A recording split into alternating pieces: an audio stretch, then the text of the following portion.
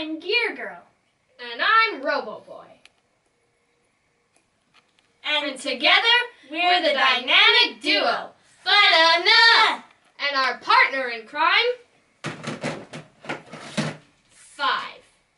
Johnny Five. ID number 216.01. Together, we protect RoboRAVE on an international scale. We compete and educate people around the globe. I think it's time to dance.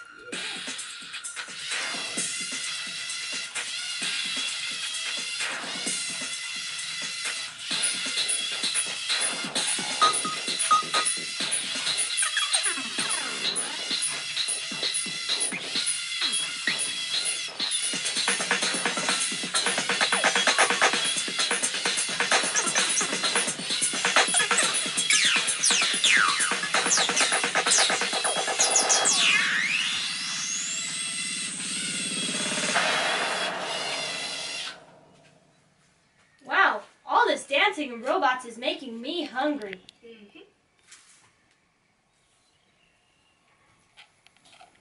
While we're eating, let's recap. Make sure to come see us at doing the line following challenge through May 5th through 6th, or May 5th through 7th at R- RoboRAVE Internet at Robo Kirky in, at Robo Kirky, New Mexico. And since you're going to find out anyway, we might as well tell you now. I'm Harley.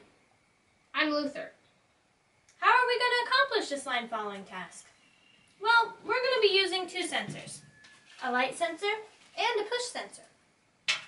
But how are we going to have all this time to program our robot? Well, we're homeschooled. We're part of a school called K 12 Online School. And why do we do this? Because it's really fun.